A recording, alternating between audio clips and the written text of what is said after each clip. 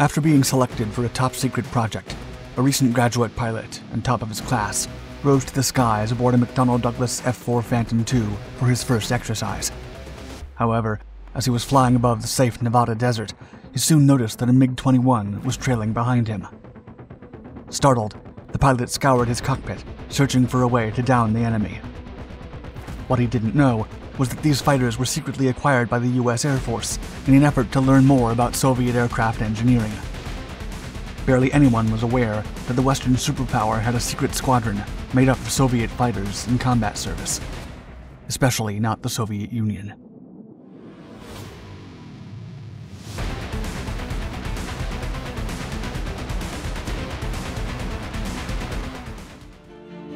The power of the dogfight. With the development of air to air missile technology in the 1950s, it seemed as though dogfighting was a thing of the past. As such, aircraft engineers at the biggest manufacturers in the country began prioritizing other aspects while designing new aircraft.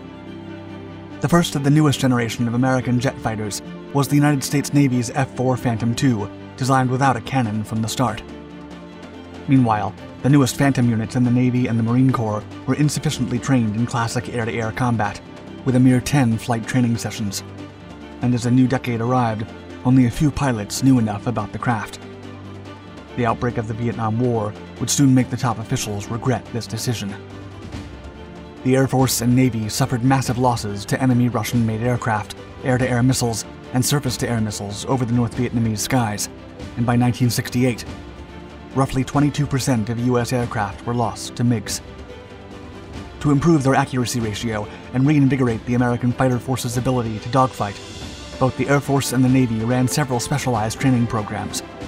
They included establishing the first aggressor squadrons, groups trained to simulate realistic tactics and flying techniques in military war games. According to unclassified data, not one Navy pilot managed to defeat the MiG 17 during the initial tests.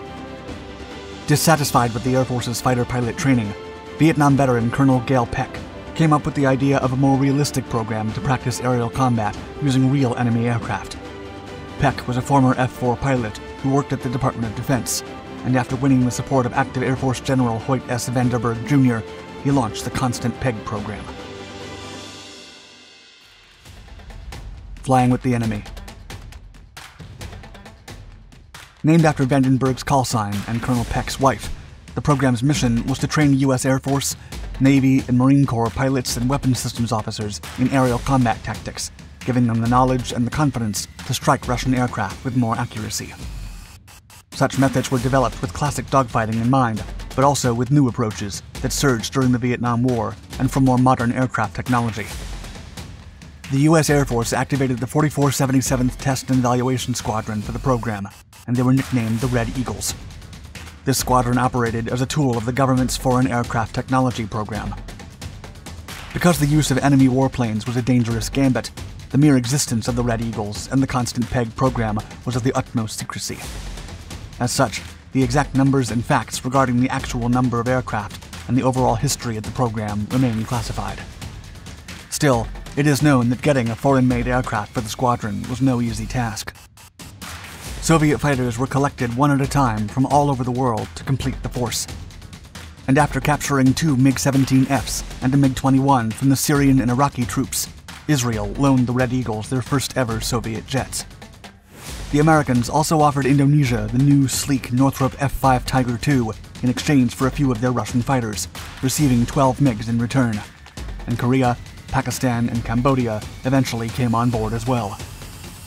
In addition to bartering, United States officials scoured scrapyards, crash sites, and abandoned warehouses to rescue more Russian aircraft. Still, during the 1970s and 1980s, Egypt, East Germany, Somalia, and China also became potential suppliers. It is even said that Egyptian President Anwar Sadat sold one dozen MiG 23s to be used in the program in exchange for 36 Phantoms. By 1985, the Red Eagles had approximately 26 aircraft that ranged from MiG 21s to several MiG 23s and MiG 17s. As the aircraft were not known for their durability, maintaining them was a significant challenge. With no instruction manuals, technical data, and few spare parts, the Red Eagle's personnel pioneered new techniques to keep the small yet irreplaceable fleet aloft. The 4477th also relied on the Central Intelligence Agency and an American manufacturer for replacements. Best of the best. Uncovering the true story of the secret American owned MiGs in the Constant Peg program is quite challenging, as most information has been destroyed or classified. The 4477th Test and Evaluation Squadron operated out of a secret airfield built in the isolated Tonopah Test Range Airport in Nevada. The remote site concealed two different programs at the time constant peg during the day and pilot training for the secret F 117 Nighthawk stealth fighter at night. The region shares some airspace with the infamous Area 51. It was soon designated Red Square and concealed from prying eyes. While the existence of the aggressor squadrons flying American planes was no secret, the Soviet Union never found out about the 4477's use of Russian made aircraft training exercises. To help with the deception, the aircraft were decorated with Russian paint jobs. And to further conceal the area, the experts would take into account the Soviet satellite flying above and store all the aircraft in hangars until it moved away. A shocking discovery. Only the best and most accomplished pilots in the United States were selected for the Red Eagles training. The Chosen ones were often top ranking graduates from the Air Force Test Pilot School or those from the Naval Test Pilot School at NAS Patuxent River, and all had to have at least 2,000 flight hours under their belt. According to John Manclark, commander of the 4477th Test and Evaluation Squadron from 1985 to 1987, the students would go through a Sunday to Friday course. By the end of the week, it was expected that they could down a MiG the first time they spotted one. Given the value and vulnerability of the aircraft, the Soviet jets were never flown at night or in bad weather. Meanwhile, the true nature of the Constant Peg program was often kept from prospective students until the last minute. During the pilot's first training exercise with the mysterious squadron, the aircrew members would be suddenly shocked upon spotting a MiG approaching them in the Nevada desert. This helped diminish first time shock upon exposure to a Russian aircraft if faced with a real dogfight. The second exposure to the foreign MiGs during training consisted of common basic flight maneuvers and thorough information about the aircraft. These two initial exercises illustrated the MiG's strengths and weaknesses in relation to the pilot's own fighter aircraft. Dogfighting in a week. The final and most challenging training stage involved applying all the knowledge in actual fights. During these lessons in 2 on 2 or 1 on 1 air combat tricks and simulated dogfights, the student pilots would counterattack with learned Soviet tactics, including offensive and defensive maneuvers.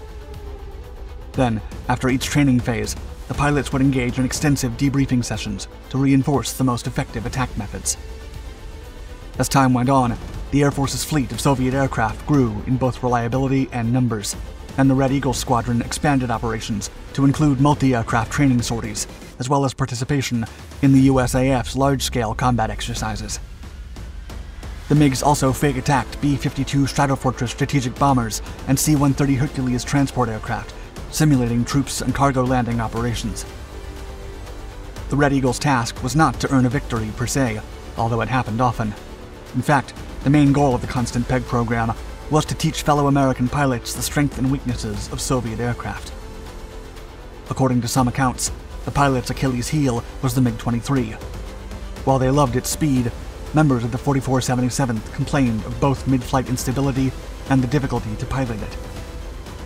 Still, with no official technical documentation, the Red Eagle's pilots had to learn from their own mistakes.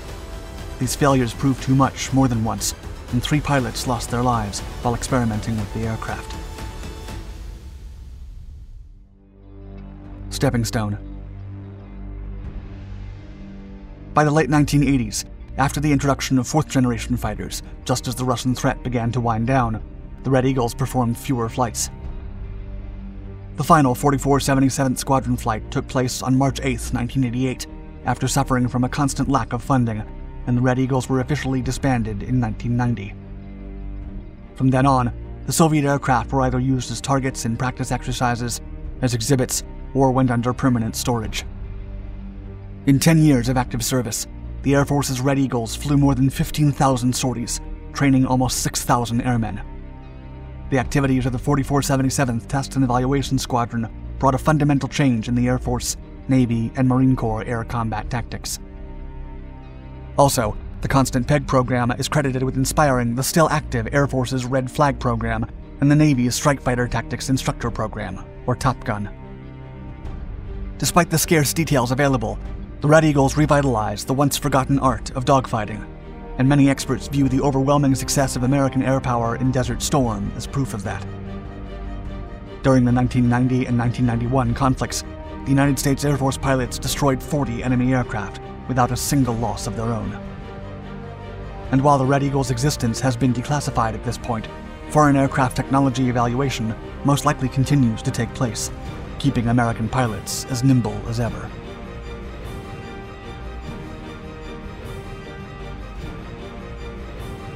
Thank you for watching Dark Skies.